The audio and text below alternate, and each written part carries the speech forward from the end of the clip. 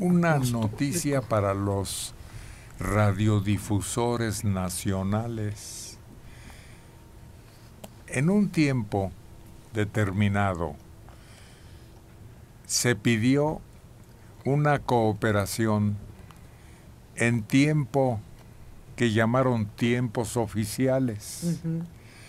Entonces cada estación de radio y televisora cedía una parte para las publicaciones, los comentarios o los anuncios que le interesaba al gobierno. 12 punto y medio, ¿verdad? Sí. Bueno, pues se les va a regresar. Ya el nuevo presidente en este sexenio determinó regresar tiempos oficiales a televisión y radio. Pues ya se los habían regresado, ¿no? No. No. De hecho, en la última reunión dijo que no. Como medida para ayuda ante el impacto económico, el presidente Andrés Manuel informó que sacará un acuerdo para devolver tiempos oficiales fiscales a las estaciones de radio y de televisión para que puedan comercializar estos espacios. En Palacio Nacional señaló que de acuerdo con esa idea se busca que los dueños de las empresas de comunicación puedan mantener sus ingresos para sus trabajadores. Voy a firmar, señaló un acuerdo, voy a devolver los tiempos oficiales a estaciones de radio, canales de televisión, porque el gobierno que mantiene comunicación con el pueblo no necesita propaganda. Hizo referencia a otra cuestión que estaba ocurriendo en México. Cuando el sexenio pasado todavía se mantuvo una cantidad muy importante, se pasaba del gobierno a los medios de comunicación, a las gerencias. Cantidades muy importantes, en millones.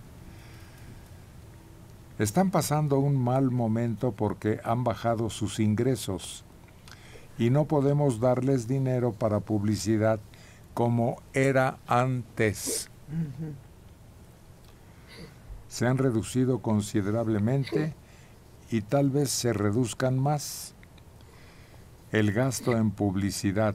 Con esta medida ellos van a poder comercializar esos tiempos y con ingresos extra van a ayudar a mantener sus empresas y sus empleados.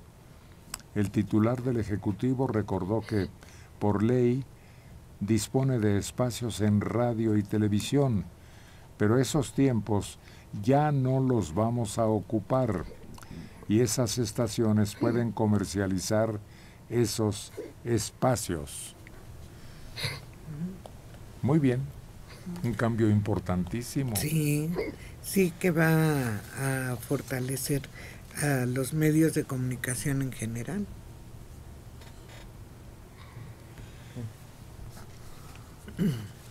Vamos a ver, ojalá que tengan utilidad y empleo.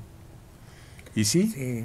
definitivamente se va a convertir en ingreso para que los trabajadores, principalmente pensando en ellos, puedan seguir recibiendo sus sueldos en su categoría correspondiente. Sí, que el beneficio se extienda y no se vaya a limitar. Sí, porque los anuncios que ponga ahora el gobierno los tendrá que pagar. Sí, todo lo que pasen de votaciones, congresos, actividades, todo va a tener un costo que seguramente va a ser más, eh, No importa, lo va a tener que pagar. pero, ajá, Simbólico, tal vez. Pero No, No, no, no. no.